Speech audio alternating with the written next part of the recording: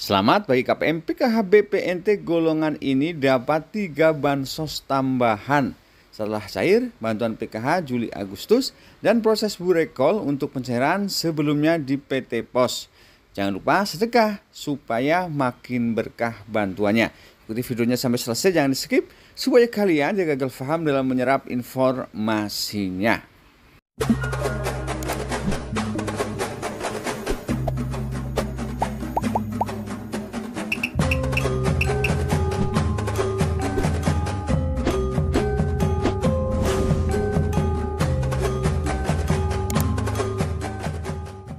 Halo guys, Assalamualaikum warahmatullahi wabarakatuh dan salam sejahtera buat kita semuanya. Teman-teman sosial semuanya, bagaimana kabar kalian? Semoga senantiasa selalu dalam keadaan sehat dan dimudahkan segala urusannya. Amin amin ya robbal alamin.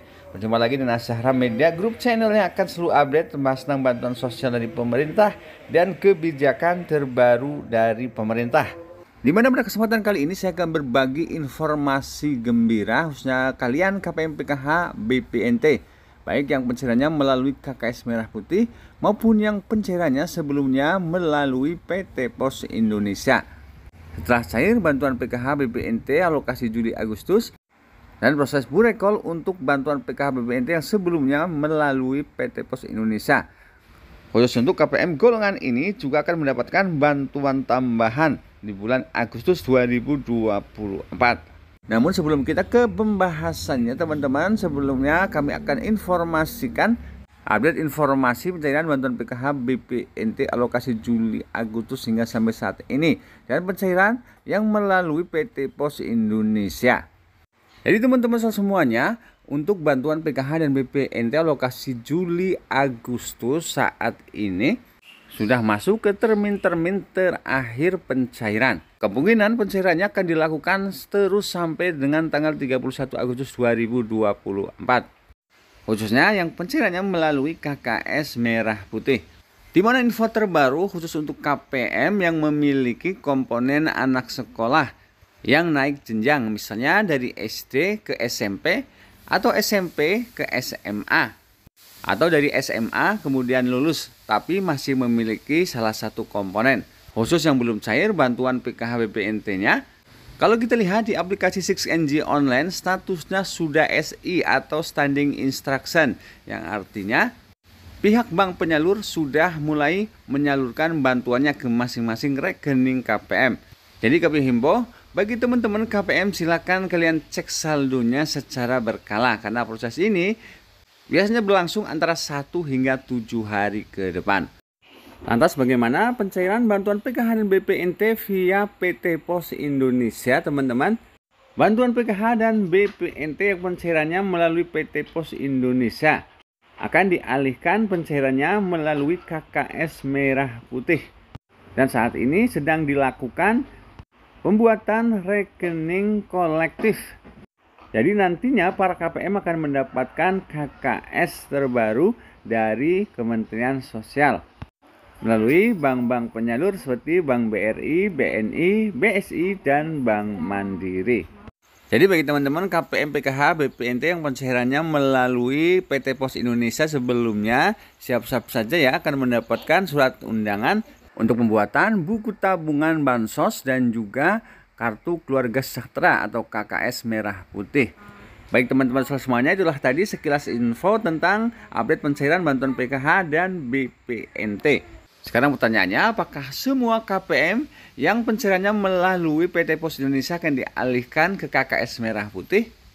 Jadi teman-teman semuanya tidak semua KPM PKH BPNT yang pencairannya melalui PT Pos Indonesia akan dialihkan ke KKS Merah Putih khususnya bagi KPM PKH BPNT yang tinggal di daerah 3T.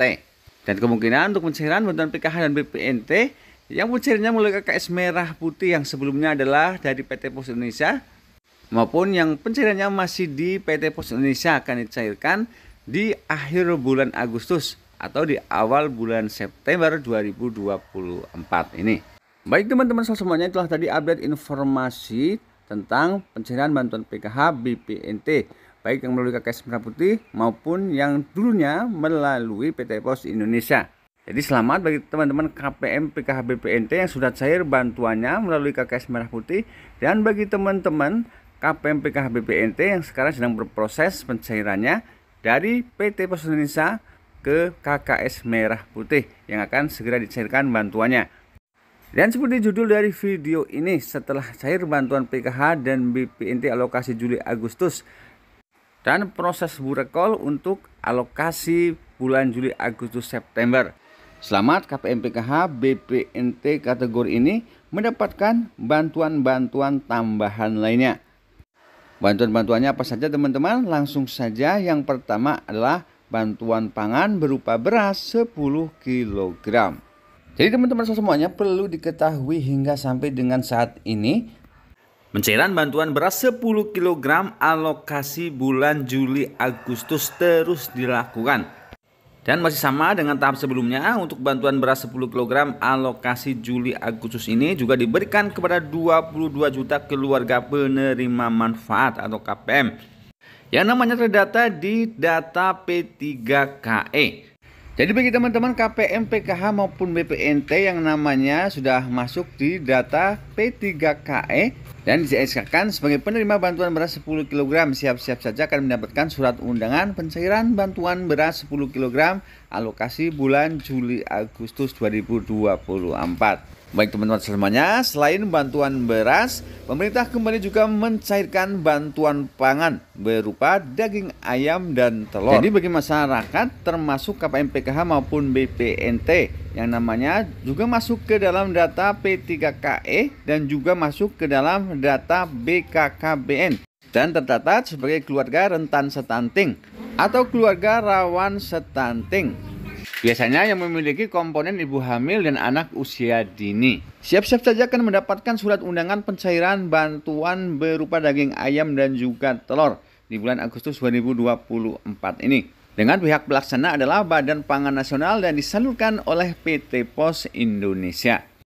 Baik teman-teman semuanya, selanjutnya bantuan tambahan ketiga untuk KPM PKH BPNT golongan ini adalah bantuan pendidikan Program Indonesia Pintar atau PIP. Jadi, bagi KPM yang memiliki anak usia sekolah dari tingkat SD sampai dengan tingkat SMA atau sederajat, yang nama anaknya sudah masuk ke dalam data penerima bantuan program Indonesia Pintar tahun anggaran 2024. Silakan kalian bisa cek di laman si pintar pip.kemdikbud.go.id. Jadi, jika di kolom pencarian Terdapat notifikasi dana sudah masuk dari tanggal 5 Juli 2024. Itu tandanya bantuannya sudah masuk ke rekening. Jadi bagi yang sudah memiliki kartu Indonesia Pintar atau KIP yang berbentuk seperti ATM silahkan kalian bisa langsung tarik dananya di mesin ATM terdekat. Dan bagi masyarakat yang belum memiliki kartu Indonesia Pintar kalian bisa cairkan di bank penyalur terdekat. Baik teman-teman semuanya itulah tadi tiga bantuan sosial tambahan yang bisa diterima lagi oleh KPM PKH dan BPNT setelah cair bantuan PKH alokasi Juli Agustus dan proses burekol yang sebelumnya KPM tersebut pencairannya melalui PT Pos Indonesia. Semoga informasi tadi bermanfaat. Akhir kata, wassalamualaikum warahmatullahi wabarakatuh.